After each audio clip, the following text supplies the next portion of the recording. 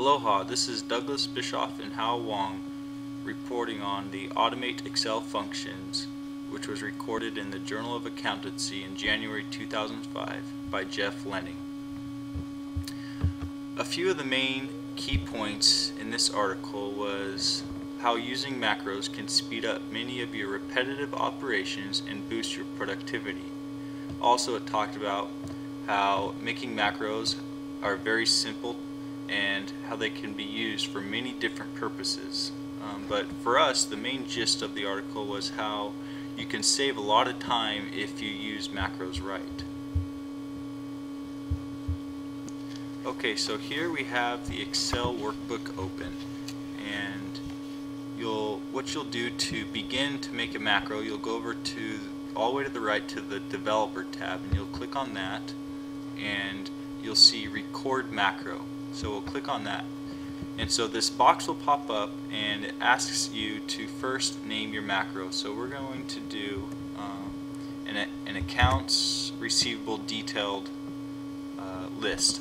So we'll write accounts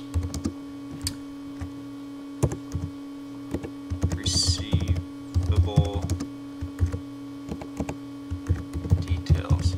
And so you'll notice that I made this all one word because this will not if you if you try and put a space in between it it won't work. So you either have to make it all one word or put an underscore in between the words but I just decided to make it all one word.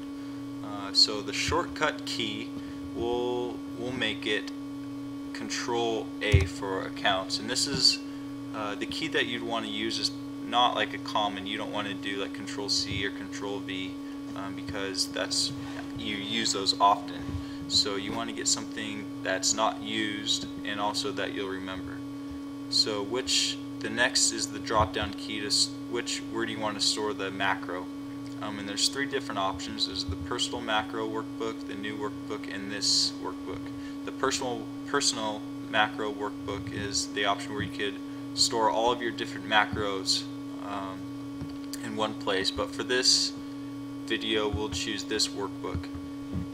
And you and you want to describe this macro so you always know because sometimes you'll get a lot of different macros and you want to know which one each one is used for. So we'll just do accounts receivable detail list.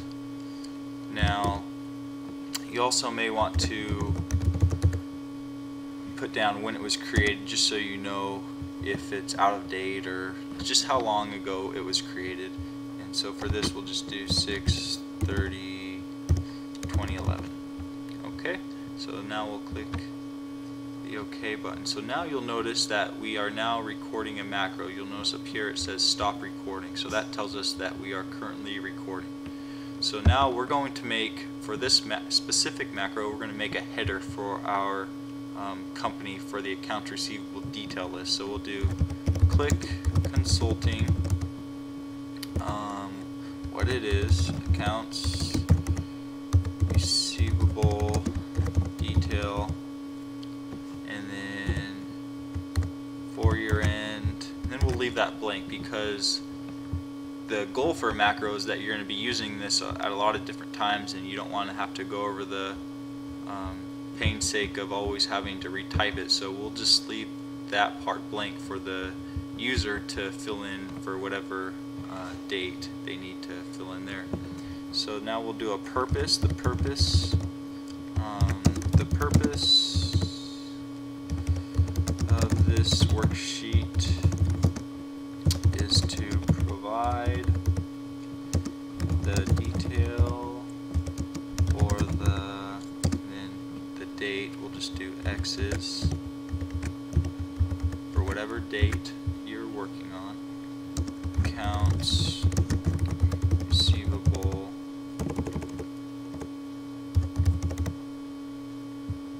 balance. Okay.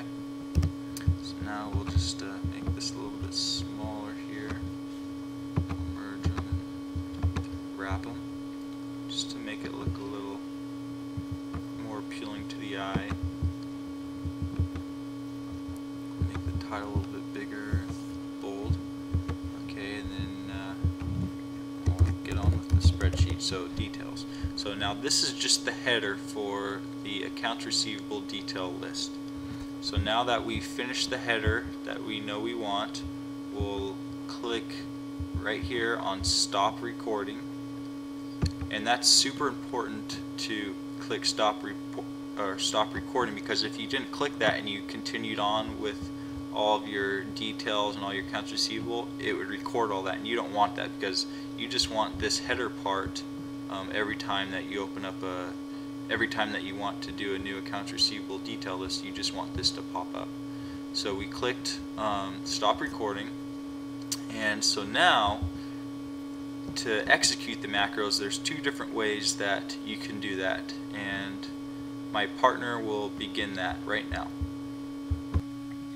Uh, first of all, so there are two ways uh, we can execute the macro function. The first way is uh, uh, by deleting the everything we have on, in our Excel, and then we uh, click the Control A button. So see right now we have everything on on Excel. And the second way is that we use the insert function so we press the insert and we see the button. We click the button the picture and and we will create the, our own button. And then we see the macro name. And under the macro name we see the account receivable receivable detail. And we click the account receivable receivable detail. To connect to, to, to connect them and we click OK and then right now we see the button one and we can rename the button one uh, to the account receivable detail. And then we can delete the, the everything we have on Excel and we press the button 1 and right now uh, by using this function we come up with the the, the every the account receivable detail we have we typed before so uh, by using the macro function just like my partner mentioned before we can save a lot of time whenever we want to use the we want to have uh, use the account receivable detail used for this header. We don't need to type again and again. So thank you